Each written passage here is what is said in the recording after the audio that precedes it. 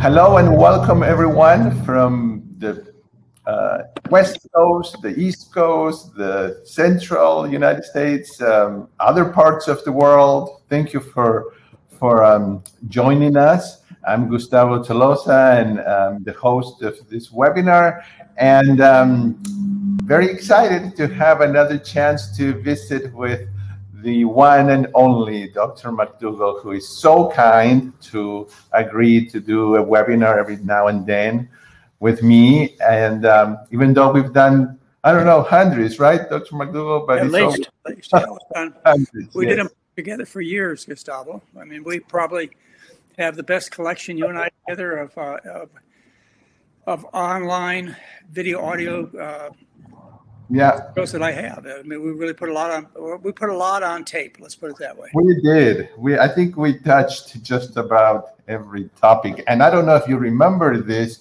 uh, little piece of uh, trivia, but um, our first webinar was in French. Do you remember that? It's in French. Okay, no, I don't. yeah, because I was I wanted to test the system, and yeah. there was this group of French people in, in Paris that wanted a, a, a webinar on the Starch solution. So our first webinar was in another language. And so anyway, but then we started. Well, we've been trying for a long time. yeah, yeah, we have.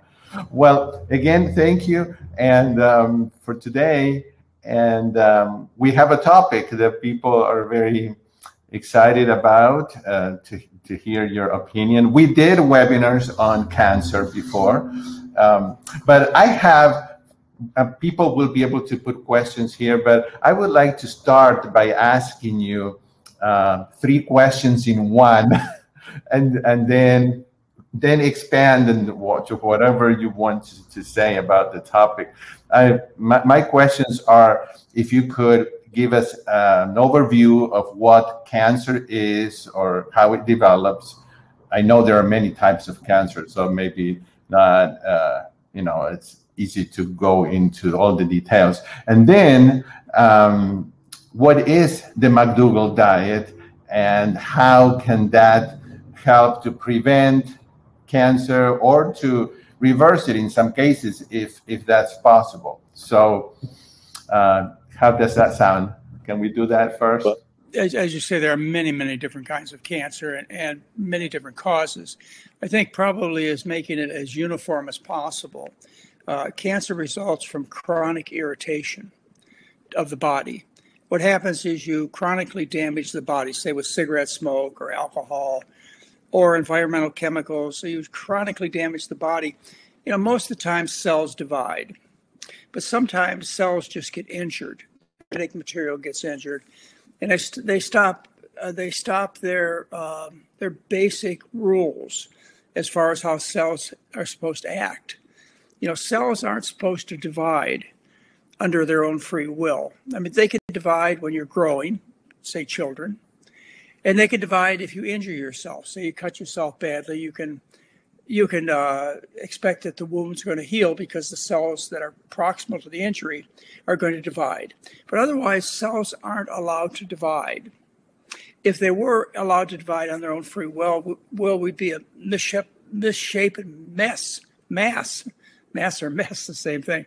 Uh, and that's, I think, the good general thought about what happens to cancer is it's chronic injury to the cells of the body and some of the cells, most die, but some don't die. They just become unneighborly. And as a result, they start spreading to other parts of the body. And it's the spread to the other parts of the body, the metastases from solid tumors that kill. Solid tumors being breast, colon, prostate, lung cancer. It, it's not the, the tumor itself that kills. People don't die of breast cancer or colon cancer. They die of the, uh, the cells that escape into the venous blood system and spread to the liver, brain, bones, lungs, etc. Now, as far as the natural history of cancer goes, I think it's important people understand this. And this has to do with solid tumors, not with tumors like blood tumors like leukemia, lymphomas. It's solid tumors like breast, colon, prostate, lung cancer. Is uh, one cell, say one cell in the breast, gets chronically injured, say chronically injured from industrial waste chemicals, and uh, that particular cell, it didn't get injured bad enough to die, but it got injured bad enough to start start doubling its own free will.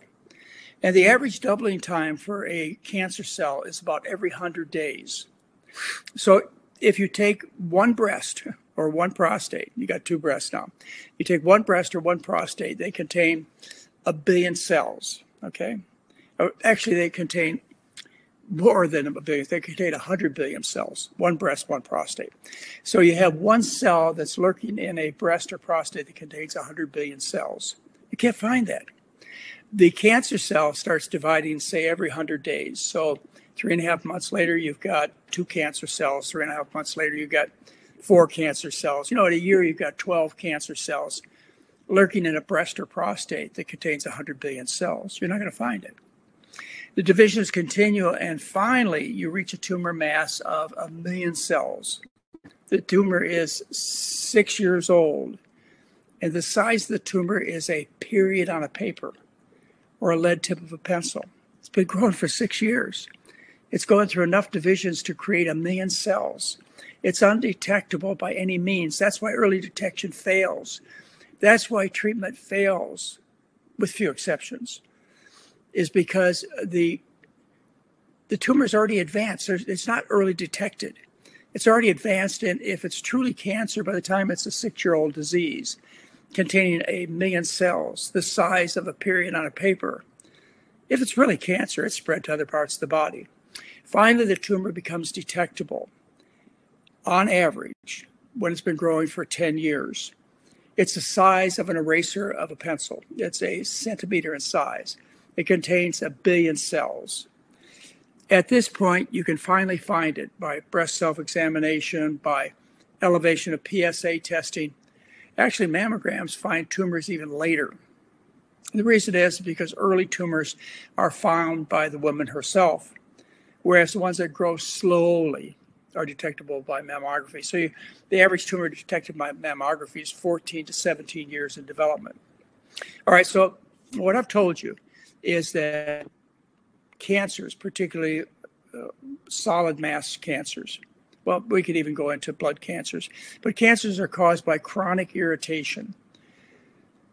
And some cells, they deteriorate genetically to a point where they stop being neighborly and they start dividing at their own free will.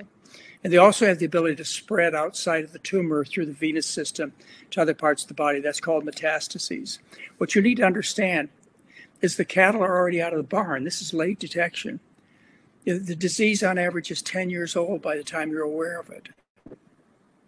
So that's the development of cancer. Now, the question is, is how does this tie into diet, which is my interest?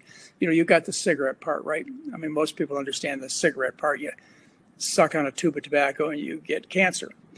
Uh, how about the dietary issues? Well, dietary cancers are the cancers of the breast, colon, and prostate and body of the uterus. And to some extent, you know, basically all the cancers have a diet connection because you do better if you eat well. You do poorly if you eat poorly in terms of uh, most cancers I can think of, even skin cancers like melanoma. So uh, what happens is when you eat the Western diet, there it's the wrong food, uh, and that's that's the most honest way I can explain it to you. Is the Western diet is the wrong food. It, it, con- it contains a lot of products you wouldn't even feed to your animals. So, because it's the wrong food, it causes chronic irritation, and the body has the inability to repair properly. And as a result, I would say breast cancer uh, is due to overstimulation of the breast from, say, environmental contaminants. Probably. Where do the environmental contaminants come? Well, they come from the air, but most of them come from the food. And there are components of the diet that we've discovered that have made tumors grow faster, like fat. Fat causes uh, exaggerated growth of tumors, even, even vegetable fats, like, for example, flaxseed oil. You know, you're all taking flaxseed oil for your heart or whatever. It's an omega 3 fat, right? Well, flaxseed oil in animal experiments has been shown when you have a control group and a group you feed the flaxseed oil to that the volume is a thousand times greater in tumor size for those who got the flaxseed. A tremendous promotion of, of cancer growth. I could go into a whole all kinds of uh, components of the Western diet. We could talk about the lack of fiber, you know, because you lack fiber, the the cancer causing chemicals that are in your stool have more direct contact. When you eat dietary fiber, which is only from plants, you kind of dilute the stool out and you neutralize some of these cancer causing substances from the plant food, from the food, from a bad diet generally. So there are all kinds of components uh, of plants, but it's not important that you know all the details. What you need to know is that the rich foods make you sick and cause cancer, like meat, the chicken, you know, dairy products, oils. You know, these, these are not sugar. I mean, I know sugar's been promoted as the scapegoat for cancer. It's not sugar. Sugar is not good for you, but it's not sugar that promotes cancer. Anyway, the, it's it's the rich Western diet that uh, sets you up for cancer and promotes the growth of cancer. So, what's the obvious solution? You stop throwing gasoline on the fire. And uh, I wrote the first uh, scientific study that has ever been published in the literature, the medical literature, on the dietary treatment of breast cancer. Uh, it was published in 1984 in the journal Breast. And what I said is, look, I think I know what causes breast cancer, the rich Western diet. I believe that if we take women who already have breast cancer and we put them on a healthy diet, that they will do better. And what I found out is they did better. They reduced the prognostic factors that predict that a woman will die early. Overweight women die earlier. Women with high cholesterols die earlier uh, certain hormones like estrogens and prolactins, when they're elevated, they die earlier. You know, they die sooner than a woman who has the opposite characteristics. And so, what I showed in this particular study is women already have breast cancer. They can change the prognostic factors. Now, my follow up on a few of the women says they did really, really good. Well, since that publication in 1984, there have been multiple studies that have been published on the dietary implications of cancer, not just in prevention, but in terms of treatment. And all of them say the same thing. If you cut the meat out, you cut the oil out, you cut the animal foods out, and instead you eat a diet of potatoes and rice and corn and so on, that you live longer. The data has accumulated to the point where February 13th, 2015, the American Cancer Society came out and told the practicing doctors, the patients, that diet needs to be a fundamental part of their therapy. You will live longer if you eat a good diet. And they gave a lot of the scientific studies that supported this. If you'd like to do a quick review, you go to my website, which is drmcdougall.com. Look under newsletters and you look at the February 2015 newsletter you know, I did a whole whole review on it for you there, so you can understand all the implications. So not only do I believe, not only does the science support, but the American Cancer Society comes out and tells you you need to change your diet. Unfortunately, that's rarely translated from the doctor, practicing doctor, to the patient. And so, you know, they get one option surgery, radiation, and chemotherapy. And it'd be okay if those things worked, but they don't. And I do mean that as a generalization. There are some exceptions. They don't. They cause more harm than good. Extremely expensive. so, uh, you know, if you had a uh, if you had a wonderful option, say for example, we had this pill that cured breast cancer, you wouldn't have to tell a woman to change her diet, but we don't. So women ought to be advantaged uh, in every way, and that means a good diet to prevent breast cancer and to treat. Men, that means a good diet to prevent prostate cancer and to treat. And men and women, colon cancer. It's, it's gender indiscriminate, but still the diet that you ought to be eating is the same. So that, that's pretty much what I would have to tell you about, uh, about cancer. We could talk about uh, leukemias and lymphomas, which are related to uh, viruses, uh, which are spread through meat and dairy. So Okay. Any other critical questions? Very good. I uh, I do have a question here. I someone types, I have had lung cancer. Now, two and a half years later, the CT says it's okay. What do I do to prevent recurrence? Well, I think you just um, mentioned it.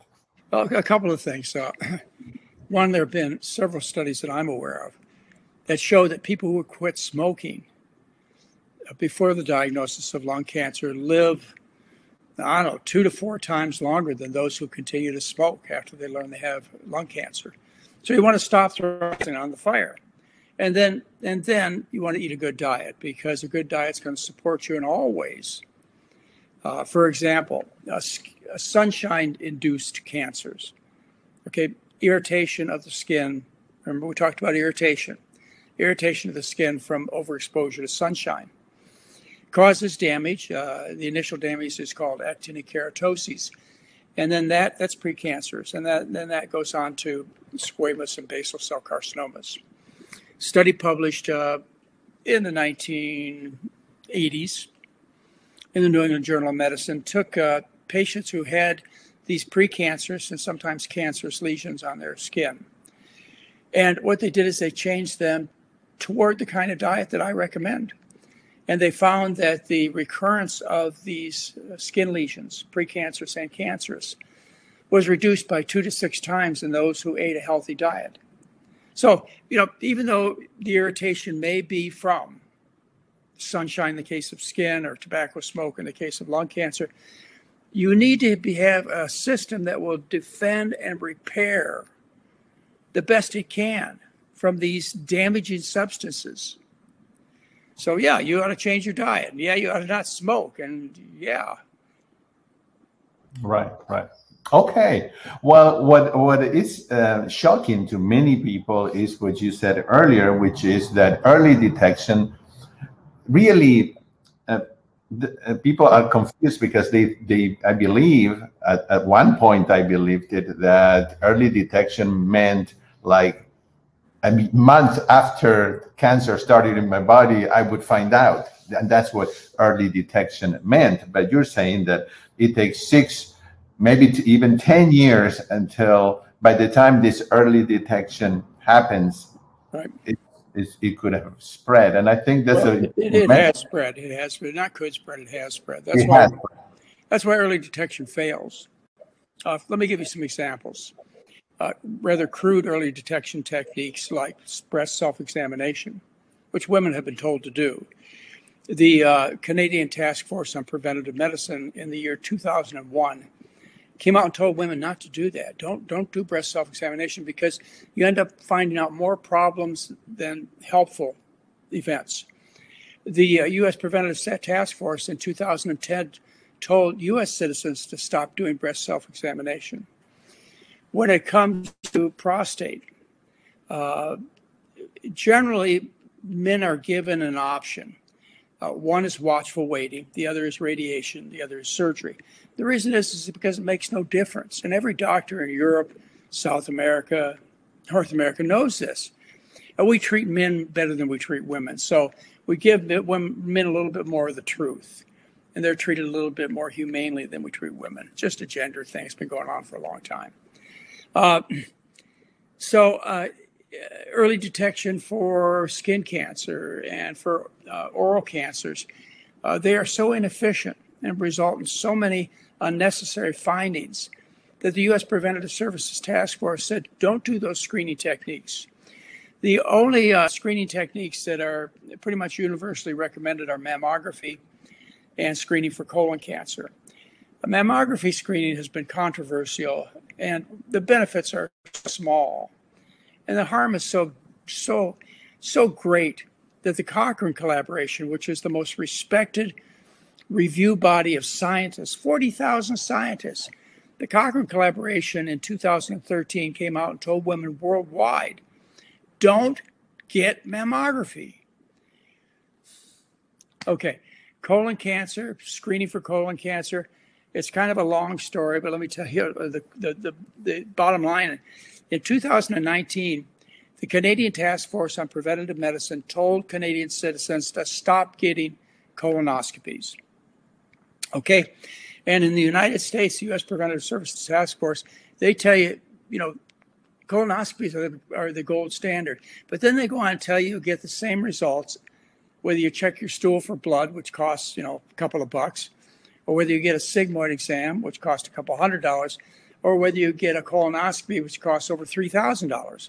And the harms done from colonoscopy are huge, but the benefits are the same regardless. And the U.S. Preventative Services Task Force says so. I don't know what they say in South America, Gustavo, but I can tell you in Europe, colonoscopies have never been recommended.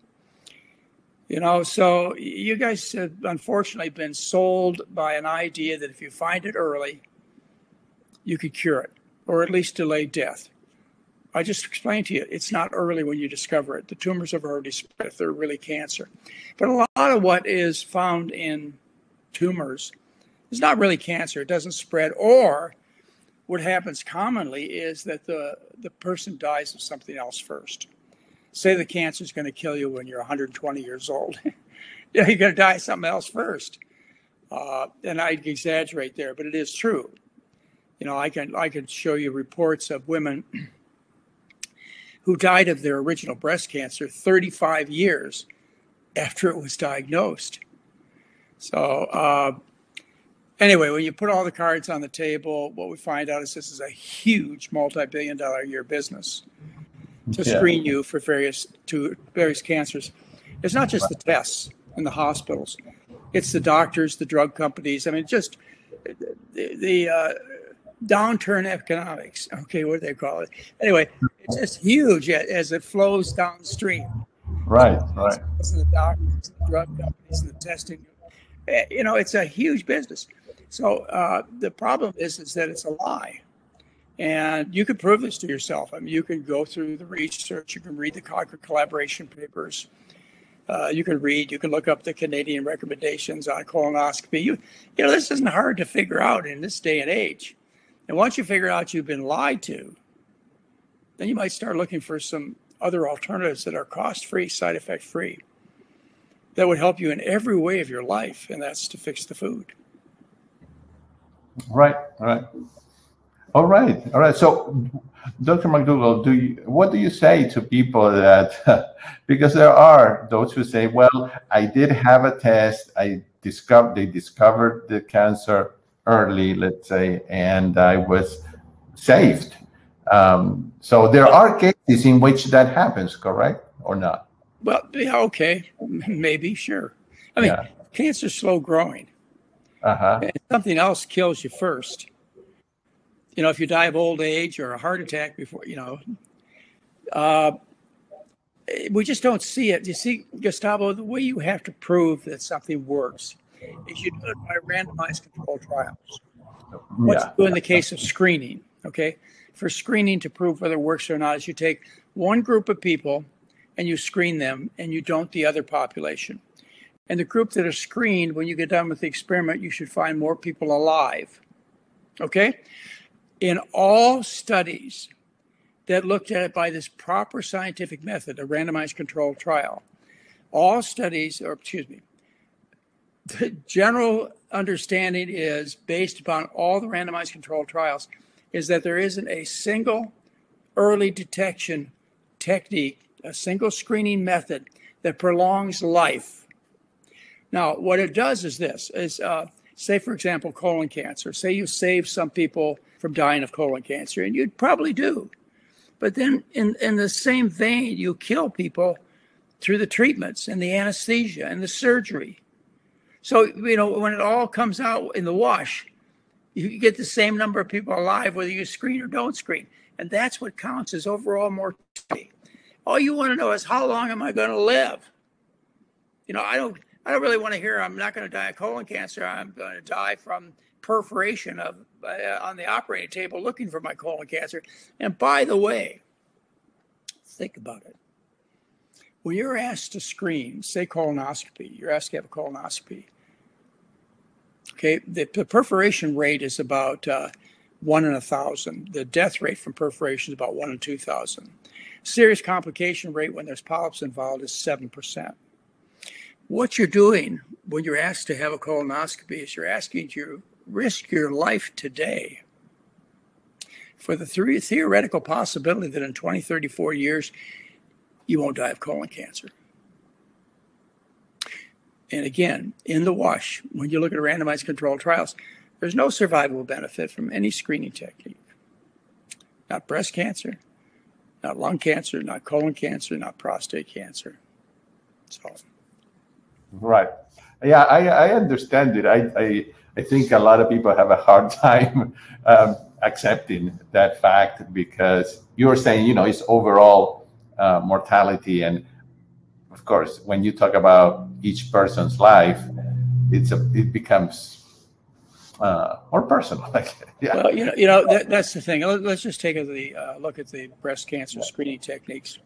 What the data comes down to, and it might be getting a little complicated for some of you, but here the, here's the data, is that for every 2,000 women that you screen, you may save one life. Okay. In the process, you diagnose somewhere between five and 50 women as having breast cancer that would have never known they had breast cancer. It's just because you were busily looking. Now you change their lives. They're no longer Mary or Jane. They're breast cancer. Hey, hey, hey, you know, can't get a job, can't get insurance.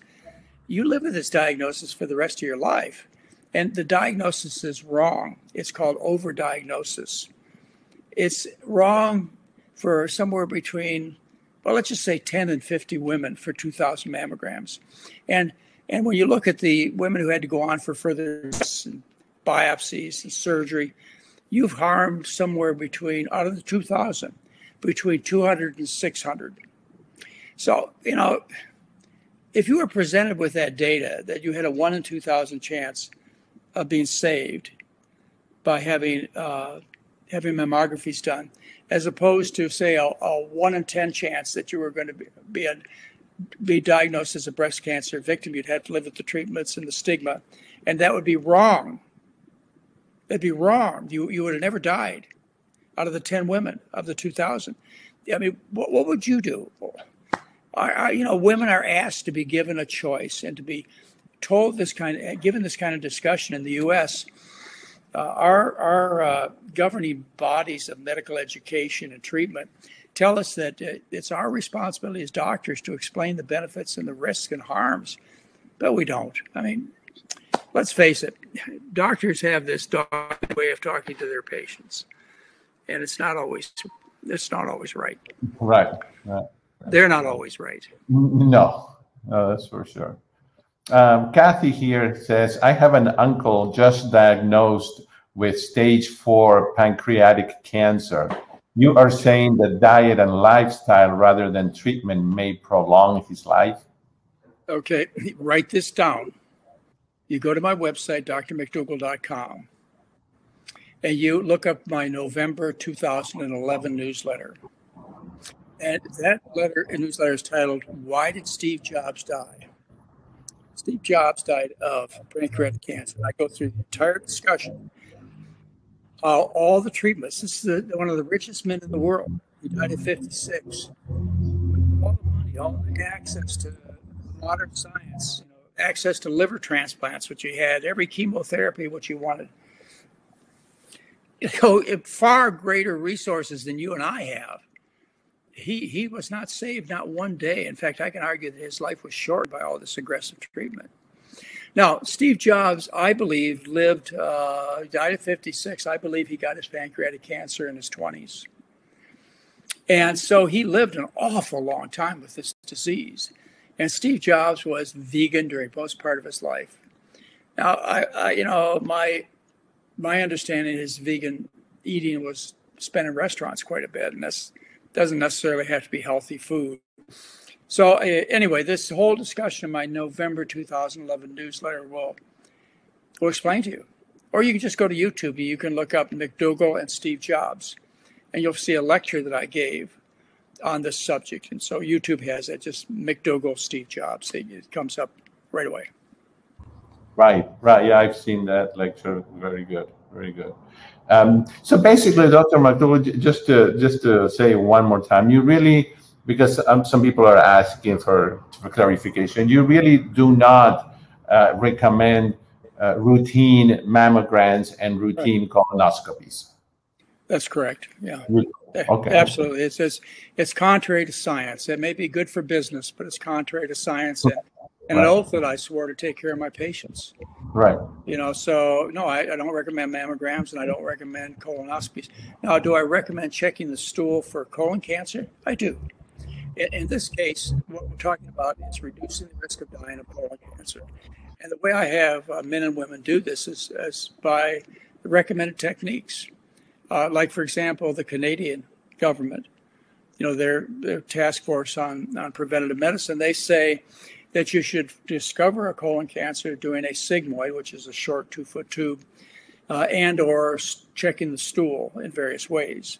And I've recommended that for almost 30 years, is you should do one or the other or both, you know, depending on how paranoid you want to be. And you should start these examinations at around age 50. So you have one sigmoid exam at age 50 to 60, 55 to 60, and you should never have another one again if that's clean. Uh, if you decide to check your stool, you should check your stool for a few years, starting around age 60. But no, I never recommend a colonoscopy for screening. Now, you know, if you find something, you may have to have this instrument and help the patient. That's that's different. But uh, as far as looking for trouble, it's called disease mongering. Does you cast this huge net over the population, catch them. So you say, hey, everybody's got to have a PSA. What do you think capture for the prostate cancer business? Billions. Disease mongering, that's what it's called. Yes, it's just that it's so difficult, like someone is saying here, it's so difficult when physicians argue with you that you have to be screened, especially when you're over 50. And there you have, you're in front of your doctor that you trust, and they're really pressuring you to do that. And yeah. um, what would you say? Tell us well, it depends. Uh, it depends. You know, I have written extensively on this, and so people yeah. could copy my particular writings and take them to the Right. All my discussions. I, I did two thorough newsletters on colonoscopy. I've done multiple multiple writings in books that I've written and and newsletters which are free uh, about breast cancer screening and treatment. So right. you can take my data, or you can go to the head of the Cochrane collaboration and you could buy a book Peter uh-huh. is the man's name. Peter Gøtzsche was the head of the Cochrane collaboration for more than 20 years. And Peter Gøtzsche wrote a book called Mammography Truth, Lies, and Controversies. It's called Mammography Truth, Lies, and Controversies. It's a difficult read. I read it because I knew the studies he talked about and I, I, was not bogged down by it. But if any doctor said to me, as a woman who didn't really understand what was going on, you must have a mammogram, I'd say, Doctor, read this book. This is the head of the Cochrane collaboration. Read this book. And then you tell me I have to have a mammogram. I, guarantee you, all the doctors I've given his book to came back and said, Whoa, I would never recommend mammograms.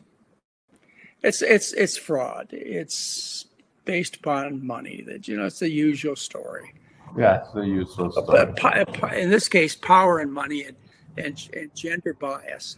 We don't do these things to men, ladies. We don't do the aggressive sex screening and treatment that we do for you. Even though breast cancer and prostate cancer are essentially the same disease as far as cause, treatment, natural history, failures of treatment, etc., mutilation, harm, costs. You know, they're, they're almost identical diseases, one affecting women, the other affecting men.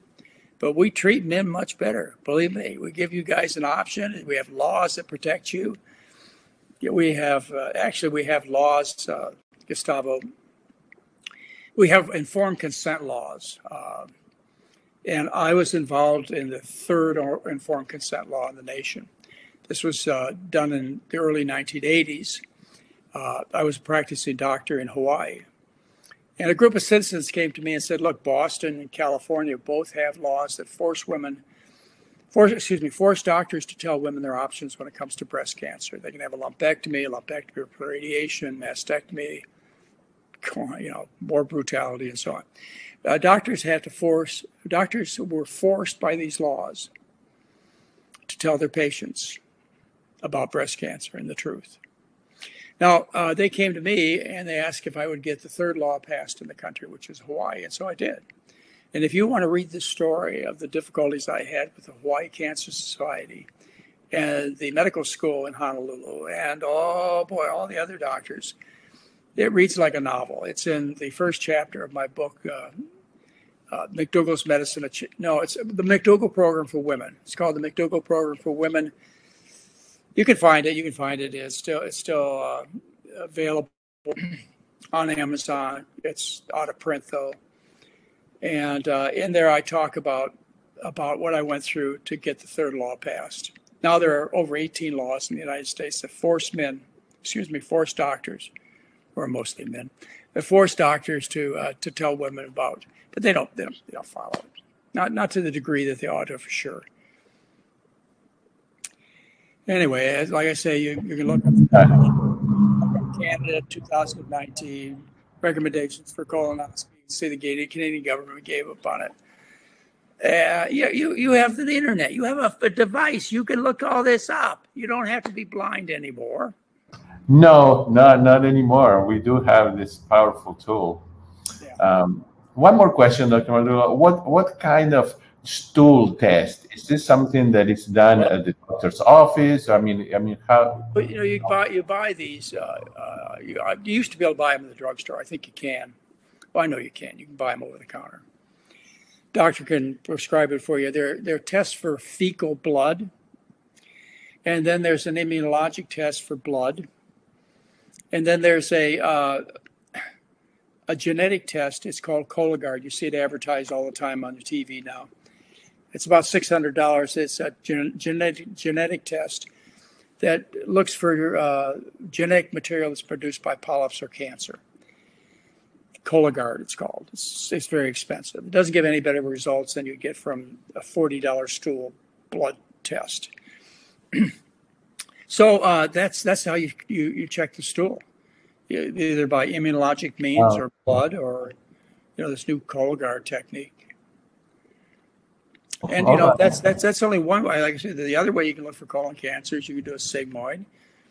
You could do a virtual colonoscopy, which is done with an X-ray machine, or you could do a real colonoscopy with a six-foot tube stick up your butt.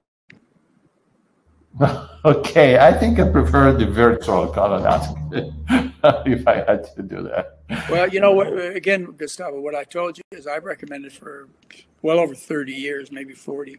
Right that uh, for screening, you ought to do one screening exam around age 60 with either a sigmoid or blood, or, you know, check the stools. Doesn't have to be blood, it could be the other ones I talked about. Or you can do both, but anything more than that is too aggressive, too expensive, too risky. Right, right. All right, very good. Well, um, I don't know if you should we stop? Are you are you tired? well, you know, you, you, you, yeah, I want to talk about something else. Uh, okay, sure. I, I, thought you really, I, I know you re- re- requested I, I do a discussion on cancer, and I hope that fulfilled what you. Yes, yes, that's it. But you know, you started out your conversation about talking about uh, about the world, and I thought you were going to lead into what's going on in the world today, and which is something I want to talk to people about. I, I, don't, I don't know what's going on in South America. I don't know what's going on in China, Russia, or so on, except the same things going on that's going on in the United States. You know, we just had, uh, we have a situation going on on the West Coast, which is where I live, where pretty soon every single tree will be burnt. The wildfires are just totally out of control, no, no chance of controlling them. So we may be treeless pretty soon on the West Coast. Uh, you just uh, heard about the hurricanes hitting the Gulf Coast, and uh, the strongest hurricane that's ever hit this country. And uh, that hurricane finished off with flooding of the Northeast. Every place in the world, people are being touched by what's called climate change. Uh, no longer are there climate deniers. At least if there are, you ought to be laughing, laughing, laughing at them, if not being more aggressive towards them because what's been done has been to set up our planet in an almost unrecoverable state due to global warming, due to human activities. So uh, that's what I thought you were going to start talking about because that's all that's on my mind these days. Because you know, the end of the world ain't a pretty thing to think about. Uh-huh. And what, what I'm dedicating my time to is a small segment of what needs to be done. Uh, you know, definitely we have to take care of the fossil fuels right away. The idea that we're going to have carbon capture, well, that's called trees. It's not going to be invented. It's called trees and plants and grasses and so on. So we have to be aggressive about that. We have to be aggressive about soil management. There are lots of ideas about how we need to fix the future. But there's one thing that nobody's really talking about uh, that I cho- choose to talk about, and that's the implication of food. Uh, what we have is we have uh, clear statements that the agricultural business, primarily the animal food business, is destroying this planet. Uh, we know the planet's being destroyed thanks to Al Gore and his 2006 documentary, An Inconvenient Truth. But Al Gore didn't mention agriculture or beef. And there are some reasons why, and I could discuss them for you. Some reasons I understand. But uh, next came up uh, the Livestock's Long Shadow, paid for by the Food Bank, put up by the World Health Organization, which is over a 400 page report that says that uh, our agribusinesses, particularly our livestock industry, accounts for 18% of the gases compared to transportation and all transportation, which is fewer than 14% of the greenhouse gases cars, buses, trains, airplanes. Uh, that was uh, in 2006 also, but they didn't mention what to do about it. They didn't talk about, you know, really a dietary change. The World Watch Institute came out uh, a few years later and reanalyzed the World Health Organization data and included things that were really important. And they concluded that over 51% of the greenhouse gases are due to agribusiness. They didn't mention what to do about it. Uh, the Eat Lancet Commission came out in 2019. It probably the most authoritative uh, publication up to date on what's happening to our planet, and they tell us that we only have I'm not even going to mention how short a time. You can look it up. And uh, they clearly say that we can change things by changing our diet. They tell us that we can reduce greenhouse gases by 50 to 80 percent by going vegan. I mean, this is the scenario. You are sitting in your home with your family and you just went through a wildfire or a flood or a hurricane, or you just go out, you go, oh my God, it's never been so hot here. I don't care whether you're in the, the southernmost part of South America, the northernmost part of the continent of North America. It's hot. And you go, you know, I recycle. I drive a car that's very efficient in gas, but I feel like I'm doing nothing. What else can I do? Well, what else you can do is you could do what the Eat Lancet Commission encouraged you to do, but didn't tell you what to do. And that is change your diet. They told you you could reduce your global warming gas output by 50 to 80 percent. Other studies show that too. That sounds wild, but that's what you can do, and you can spread that as a message worldwide. But it's not being spread. As a final testament to how it's not being spread, I'd like to bring up Bill Gates.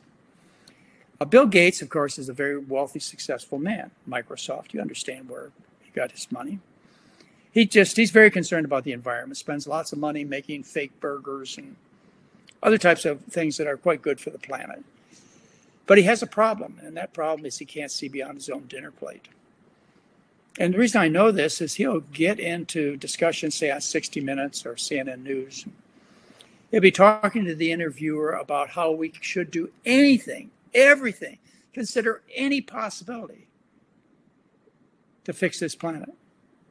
So he's really sincere about that. But unfortunately, he is conveying to the public a message that is still very harmful. He does his interviews in front of a in front of a in front of a beef burger or in his favorite local hamburger joint. He refuses to make a connection between his beef eating addiction and the climate. So here, you know, we've talked about some of the smartest in the world, Steve Jobs and Bill Gates, just in this discussion. And I want to tell you, uh, they may be smart in computers, but when it comes to when it comes to medical issues and nutrition, they're still way off. Uh, anyway, I would love to get to Bill Gates and because I, I think he's the man who, if he was confronted with, you know, this powerful tool that's been totally neglected, I just told you that he would do something about it. I, I really think he he's so desperate and knows the situation so well that he'd even eat a bowl of beans and rice like you and I are going to have today, Gustavo. So anyway, this is where I'm going to spend the rest of my life. I spent the first 45 yeah. years trying to get people to cure their diseases due to diet. Now I took, uh, now I've, I've got a new patient, Gustavo. I'm taking on a new patient. Correct. it's the planet Earth. And again, you know, I think about it, ladies and gentlemen. I'm, I'm not asking for a, a big position. I just want to be noticed. You know, I just I just want to have my hand up in the air and wave loud enough, and that's why I really appreciate being on your show, Gustavo. It's just a look, look, guys. You guys, you're going to do everything possible. You know, our our ship is sinking. All hands on deck. You want all hands on deck? Well, you got to have this hand on deck. You know, I just would love because I know how people should eat to save the planet, just like I know how they should eat to save themselves. Yes, it's just Dr. McDougall. I I'm never going to give up, but I do get discouraged because I see that the addiction to these uh, foods, if we could call them foods, uh, all the meat and dairy, the addiction is so strong and high that I believe some people would actually be sinking and dying, but with the with the burger in their hands while they're eating it, because they don't want to give it up. And I and of course we have this multi-billion industry that um, I don't know how to fight against it. Well, you know, what you just said is something I'm going to carry on in my future discussions. Is that people would die with a burger in their mouth? It's just like, right. It's just like, it's just like as young doctors, we could never understand why people with lung cancer would smoke through their tracheostomy tubes, but they would. It's, you understand a, tra- yeah. hole, hole in your throat.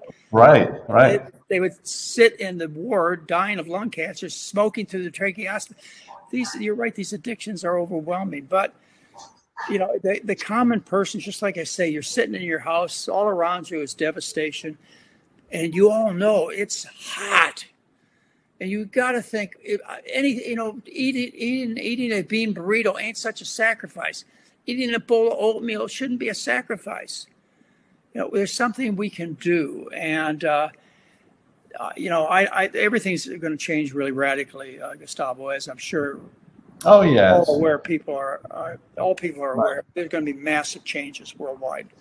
Yeah. And uh, you know, part of the solution, if there is one, is going to be to fix the food.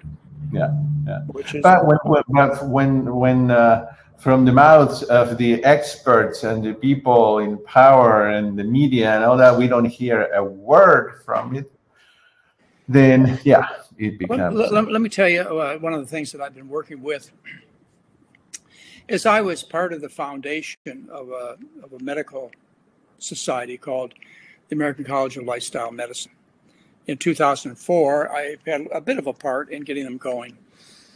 And I've uh, stayed peripherally involved with this organization, the American College of Lifestyle Medicine. I watched it grow from, you know, 50 people to 5,000. And uh, they gave me an award, a Lifetime Achievement Award, in 2019. And, and I told them beforehand I didn't want the award. You know, I didn't want to travel to Florida to get it, et cetera. But I will if you'll give me nine minutes during my award presentation. And really reluctantly gave me nine minutes. And I gave a talk on climate change, which lasted 22 minutes. I got a couple standing ovations. Uh, I was invited back the next year and I gave the same darn talk to thousands of people. And in each talk, I said to the American College of Lifestyle Medicine, I said, you know, you're in the field of nutrition and you have wanted to treat people like I've treated them for the last 45 years with food so they could get well. And we all are in the same direction, you know, get rid of the animal foods, you know, go for the plant foods. And we're medical doctors and experts and scientists. I said to them back in 2019, as I said to them in October of 2020, as I just said to them yesterday, is the American College of uh, Lifestyle Medicine, the ACLM, needs to repurpose itself. And these are experts who know about food. They don't know how to build Teslas. They don't know how to put up uh, solar panels, but they do know about food. And so far, Gustavo, I haven't been able to call them to action. My college, but if I could, I would have an instant army, and I'm still working on. Yesterday, I sent them a letter. I sent it to the president and the manager of the organization. I sent them a letter. I said, uh, you know, what, what do we need to, repurpose? I said, the West Coast is burning up. Southeast is uh, suffering hurricanes, and the Northeast is is flooded. I mean, it's under five, ten feet of water. So, what do we need to repurpose? And then I asked him a question How is history going to remember the 5,000 members of the American College of Lifestyle Medicine? How are we going to be remembered? Well, right now, not proud, but the potential is there. And an organization like the American College of Lifestyle Medicine has the potential to get behind this and to start a movement, a movement that could save people and, and part of the planet. And it just, I'm not going to stop trying. No, well, we will need, we will, you know, I'm tireless as, uh, with, uh, with you. I, I, we will do a thousand webinars if we have to. Yeah. And Well, uh, so, You know, I, I appreciate, as I said, the opportunity to talk to your audience. And, yeah. and Well- uh, if you, if any of you have any ideas about, you know, spreading the good word, then do it right now. Write, you know, sing about it, yes, act about it, teach it in your schools. You know, it just whatever you can do, do. But it has to be around this particular cause because you don't know how to build Teslas either. right. You know, I mean, but you do know how to eat, and uh, and if we, we we tell enough people, and our, our foundation, by the way, which is a legitimate foundation, has been around for about 15 years, collecting money to educate medical students and do research papers. We've done uh, we've done uh, we paid for two research papers, and a third has been done on our program, showing its huge benefits as far as health goes. Anyway, we have a 501c3 foundation. Any of you who uh, have a little extra money sitting around, uh, this cause now is a cause to save the planet. We're no longer we're educating medical students, but we do it by telemedicine now. And uh, research studies, I've done enough. I've proved what we do works. Don't need to spend that money anymore. But on their new project, we actually have a new website that I've spent the last three or four months developing, and uh, you know, I- like I like I say, I'm gonna get my hand up there. I'm gonna start waving it, and maybe somebody will notice. Well, we will keep waving our hands, and um, uh, I want to thank you, uh, Dr. McDougall. Everybody here is saying that this was a fantastic webinar, and appreciate all the information. And hopefully, we'll get together soon. Anytime, Gustavo. It's always a pleasure. All right. You've been you've been not only a, a long time asset to me professionally, but you've been a long time friend too, and I really Well, I am um, really. uh, It's a it's a privilege for me to be doing these kind of webinars with you, and and I appreciate your friendship. So, thank right. you. uh, let's have a good day. Talk to you later. Okay, I'm going to go eat my uh, mashed potatoes. I just finished my oatmeal. Bye. Bye.